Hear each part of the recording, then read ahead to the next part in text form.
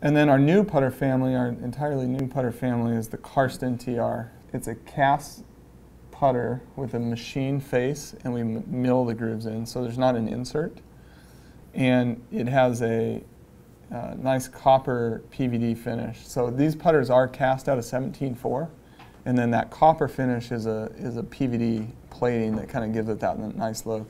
It kind of gives it that kind of heritage touch but with the grooves and all the technology on there, it's just a really nice combination of all of our classic models here.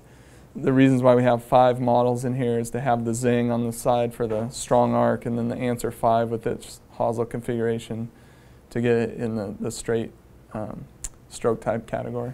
And the feel of the putter is really good. And so part of it is having this elastomer um, insert in the back cavity. It just really helps tune the sound and the feel, which is undeniably important as we've been talking about today. And it gives you a little boost in inertia